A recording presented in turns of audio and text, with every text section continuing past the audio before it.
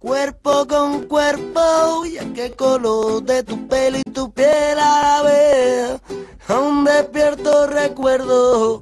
Ojalá no te hubiera conocido nunca.